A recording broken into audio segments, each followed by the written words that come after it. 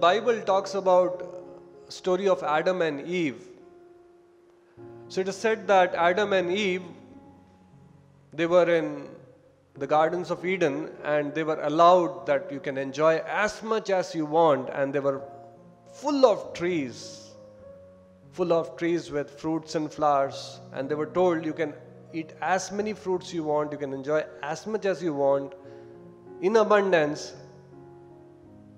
But one condition was given avoid eating apple from that one tree.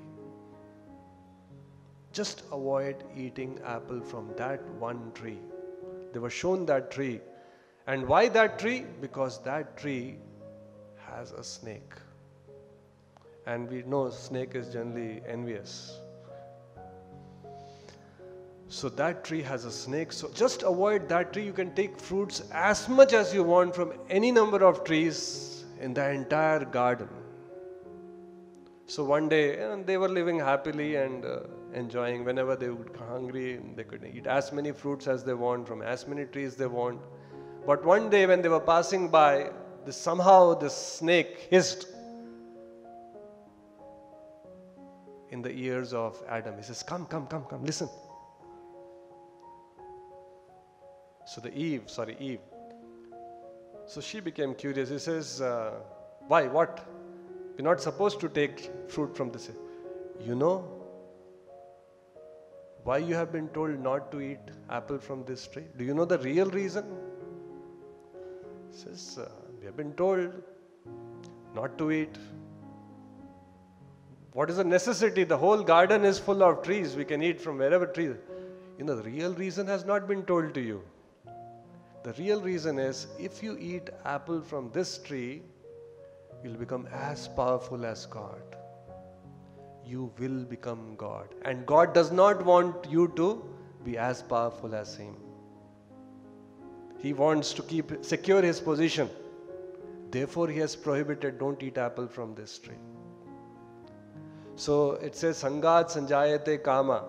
You know, when you associate with an envious person, you also develop envy. So Adam became envious. This is not fair. Why God does not want us to be the God? He wants to secure his position and be God. Therefore, he has very intelligently prohibited us from eating apple from this tree and said, You can eat anything you want. So she told uh, Adam, and they plucked the apple from that tree. And with filled with that enviousness, they ate the apple. And it says, moment they ate the apple, it says, Adam became he and Eve became she. And they fell from the Garden of Eden. Jokingly in the Eden Gardens in Calcutta. to play around. so they fell so it's something similar what even Bhagavatam is saying. We want to be God, eat the forbidden fruit, rebel against the Lord, be the center of attraction, be the enjoyer, and fell from the Garden of Eden, which is the spiritual world, in the material world. So ultimately, what are we trying to do? What are we trying to do? We, the living entity, Amsha, who is Sat Chit Ananda, we are trying, because that's our original position. That's what we are. As Amsha of the Lord, that's what we are. Just like air. Air is pure. When it passes through a rose garden, it becomes very fragrant.